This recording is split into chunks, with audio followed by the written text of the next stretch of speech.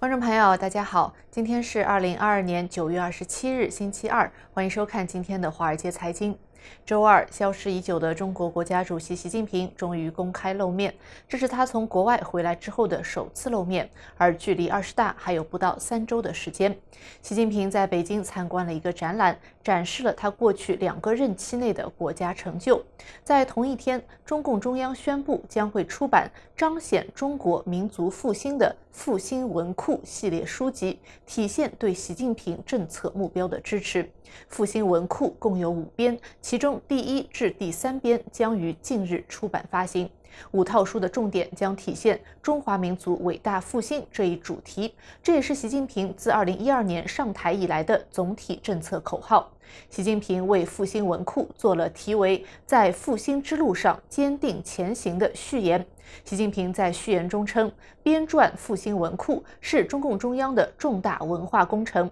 这部典籍的出版，对于坚定历史自信。走好中国道路，以中国式现代化推进中华民族伟大复兴，具有十分重要的意义。习近平写道：“当前中华民族伟大复兴进入了关键时期，要在学好党史的基础上，学好中国近代史，弄清楚中国共产党人是干什么的，已经干了什么，还要干什么，弄清楚过去我们为什么能够成功，未来怎样才能继续成功。”因此，他在序中强调，这套文献将有助于确定党的成就和使命。习近平一再重视党对国家历史叙事的控制，审查员定期清理党认为与其路线相矛盾的历史相关内容。最近也修改了党章。中央党校机关报《学习时报》原副主编邓玉文说，在党代会前发布如此重大的关于党的长期政策目标的汇编，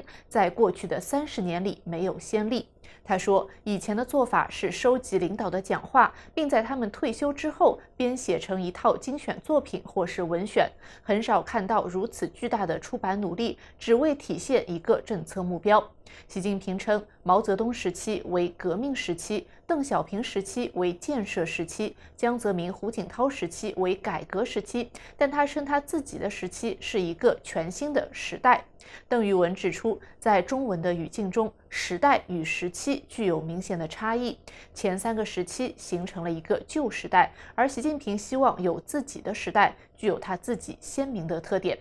新华社报道称，复兴文库以中华民族伟大复兴为主题，精选了1840年鸦片战争以来与中华民族伟大复兴相关的重要文献，深刻揭示中华民族走向伟大复兴的历史逻辑、思想渊源以及文化脉络。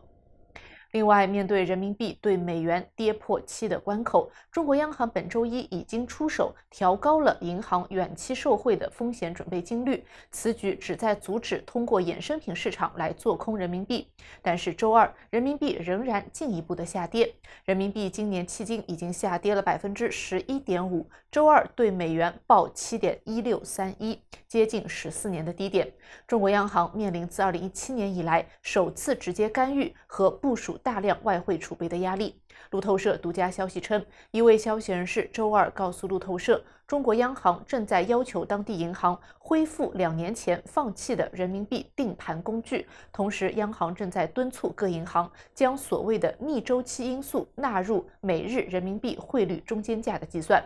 人民币定盘工具就是指中国央行通过十四家银行对人民币报价进行调整，借此设定每日中间价，进而有效控制人民币汇率。在二零二零年人民币大幅升值期间，央行放弃了这项做法，让市场力量来决定人民币汇率。消息人士称，一些参与定盘报价的银行于周二已经被要求开始纳入逆周期因素，该调整可能在未来几天进行。这十四家银行是中国外汇市场自律机制组织的主要成员。该组织只在符合外汇管理规定的前提下，对人民币汇率中间价进行管理，维护市场秩序。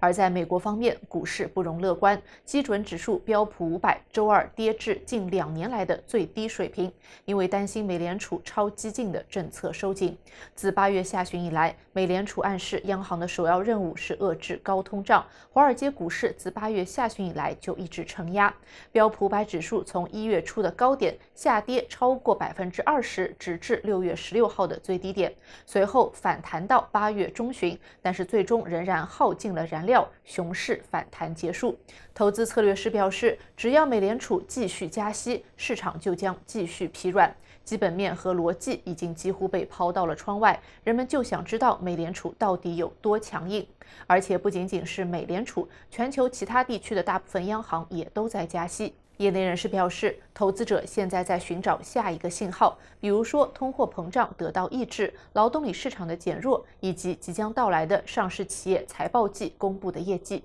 今年十月七号，美国将公布就业情况报告，后一周还会有通胀报告。投资者正在如坐针毡，等待着这些数字的公布。另外，在英国方面，金融市场也是损失惨重。自从英国新首相特拉斯上任以来，英国股票和债券市场总计损失了至少五千亿美元。在特拉斯上任时，英国经济就已经面临衰退风险。特拉斯政府颁布的新财政政策进一步引发了焦虑，导致严重的资产抛售，英镑随即跌至三十七年来的新低。分析师指出，人们对英国经济前景和特拉斯政府政策方向等问题都感到担忧，对英国的信心受到严重冲击。只有收回减税政策和减少财政开支，才有可能恢复乐观情绪。但是这一届政府仍然固执己见。尽管投资者感到不安，但是英国财政部长科沃腾仍然誓言将加大有争议的减税举措的力度，导致了市场的恐慌抛售。科沃腾说，还会有更多的措施出台。此前宣布的450亿英镑规模的减税只是一个开始。他认为，新的减税计划将使英国经济实现2.5%的增速，摆脱此前低增长和加税的恶性循环。市场动荡令特拉斯和财政部长科沃腾之间的关系紧张。政府高级官员表示，两人交流的情绪发生了暴躁的情况。但是特拉斯方面回应，两人仍然是长期盟友。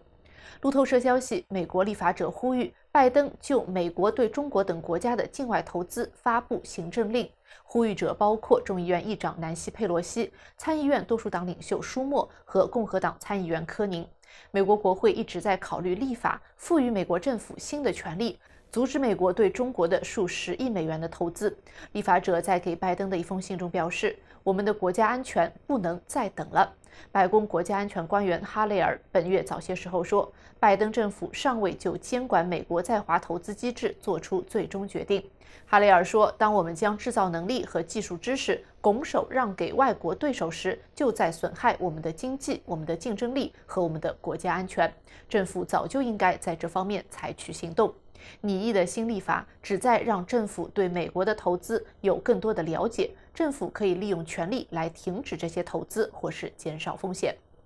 另外，欧盟计划对在乌克兰组织入俄公投的个人实施制裁。欧盟二十七个成员国正在审议对俄罗斯实施新的制裁措施，并且计划针对在乌克兰四个地区组织公投的个人实施制裁。欧盟内部普遍认为，必须对俄罗斯采取更加严厉的措施。除了匈牙利总理欧尔班对颁布更多制裁表示怀疑，因为他与克里姆林宫关系密切。欧盟外交官员透露，新的制裁方案将会包括对俄罗斯进出口实施新的禁令、扩大对俄罗斯部分商业活动的制裁，以及在公司和个人制裁名单上加入更多的名字。欧盟官员强调，欧盟不会承认俄罗斯组织的公投结果。以上就是今天华尔街财经的全部内容，感谢您的收看。如果喜欢，记得点赞并且订阅我们的频道。我们下期节目再见。